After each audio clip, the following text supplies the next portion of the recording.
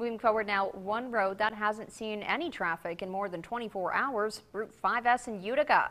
But it's far from quiet down there. The State Department of Transportation and the Water Authority, they've fixed that massive water main break, but there's still a lot that needs to be done before that detour is lifted. Eyewitness News reporter Marley Tuskus brings us an update.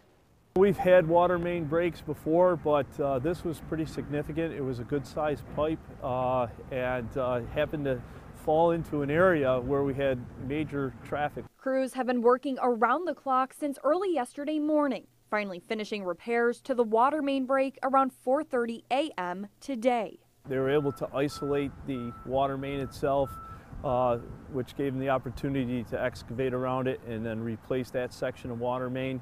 Uh, right now, it just seems like, you know, it's a 1912 pipe.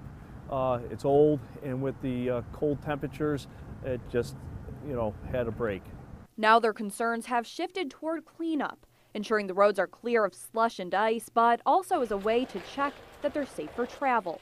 In the area of the water main break, you could see where it just kind of collapsed because of the water. Basically now it's trying to uncover that this whole area so that we can look at the integrity of the pavement, make sure there was no undermining of the roadway, and if there is, we'll make those repairs, and once that's done, then we can start looking at opening up the road. Picola says it will take at least another day to assess the damage and make any necessary repairs before the roadway is reopened. We have almost 20,000 cars a day that go through this area with, you know, this intersection at John and Oriskany and 5S. So uh, it's, it's quite busy and it was quite an impact to the traveling public. In downtown Utica, Marley Tuskus, Eyewitness News.